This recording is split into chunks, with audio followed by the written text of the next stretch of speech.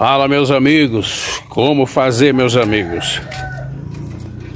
Esse passarinho galo de Campina cantar aí na tua casa. Como fazer o galo de Campina assobiar, açoitar, tanto no banho de sol como fora de casa. Eu espero que você fique no vídeo até o final para você melhor compreender o que temos de passar para você. Galera, o criador de galo de Campina ele precisa saber de uma coisa. Nem todo, nem todos não. Galos de Campina não são iguais, viu? Eles podem ser parecidos na plumagem, na cor, agora iguais na personalidade não são não, viu? Aliás, passarinho nenhum. Se o, o dedo das nossas mãos não são iguais, imagina uma vida, embora seja uma ave. Meus amigos, como fazer o passarinho cantar? Primeira coisa que você precisa ter em mente, meu amigo, você precisa ser um cara paciente. Seja paciente, que as coisas vão dar certo.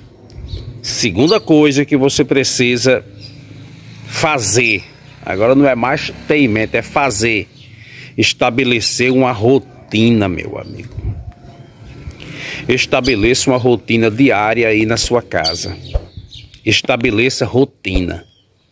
Não tem jeito.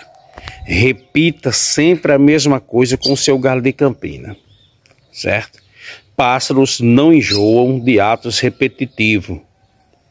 Se algo que você está fazendo aí com o galo de campina e o seu galo de Campina despertou uma certa curiosidade, despertou aí algum, algum posicionamento corporal, despertou aí jogar as asas sobre as costas.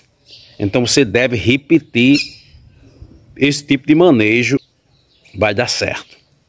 Outra coisa que você tem que ter em mente, meu amigo, uma boa alimentação para o seu passarinho.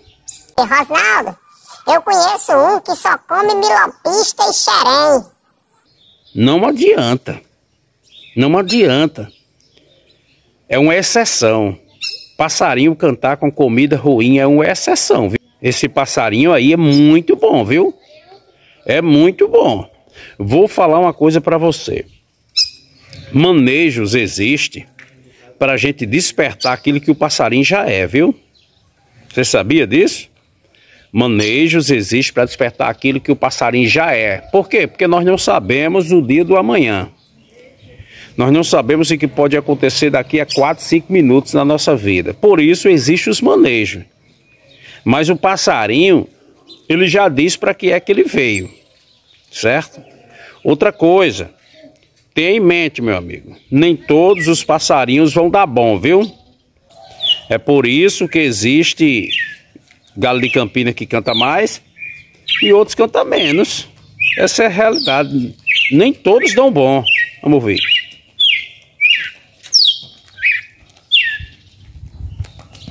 Nem todos dão bom, meu amigo. Não, nem todos dão bom. Então, se você está com um galo de campina, você vem mantendo aí uma rotina diária. Você vem acordando cedo. Você vem colocando o passarinho no banho de sol. Você vem fornecendo para o seu passarinho uma boa alimentação.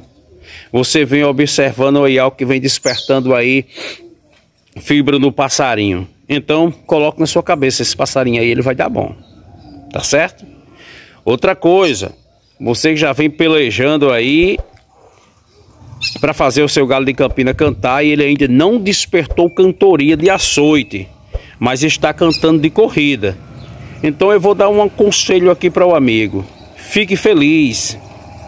Fique feliz porque o seu passarinho já está cantando de açoite, de corrida.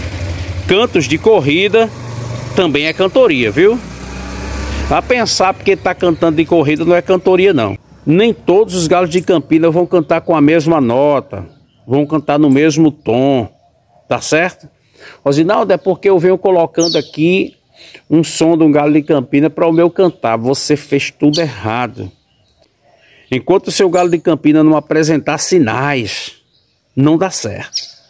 Outra coisa aqui que você tem que fazer. Você quer fazer o seu galo de campina cantar, mas você vem acordando cedo? Você vem acordando cedo? Hã? Observe isso aí. Esse passarinho aqui, ele acorda cedo. Assim sendo, ele gosta de ser mexido com ele cedo. Tá certo? Ele gosta de ser mexido com ele cedo.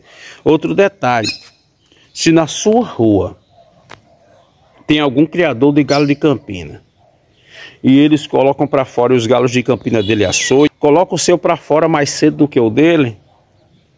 Coloque, estabeleça aí essa rotina. Faça o passarinho exercer a metanoia. Outro detalhe, você quer fazer o seu passarinho cantar na sua casa, né? Mas todo dia você está levando para o mato. E eu vejo muita gente passando essa dica aí.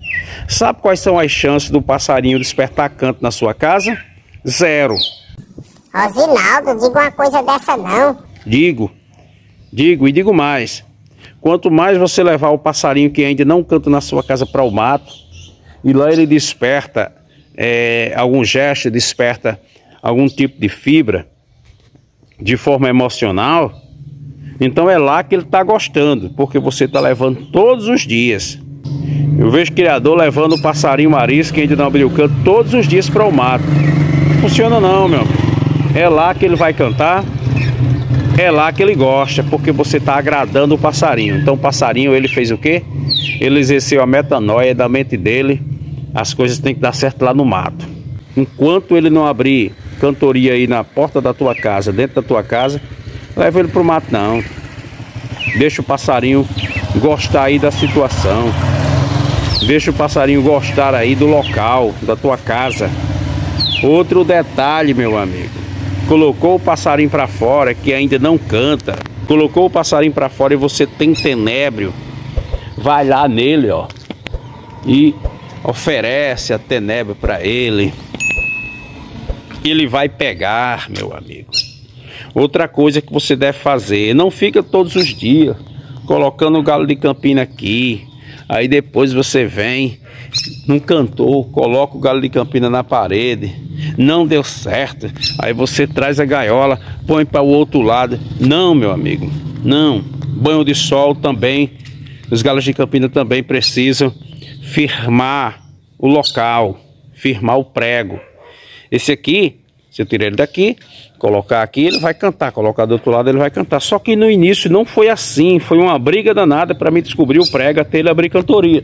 E foi aqui na parede, ó. Foi aqui. Quando ele firmou cantoria, eu fui afastando e eu gosto de deixar as gaiolas sempre penduradas.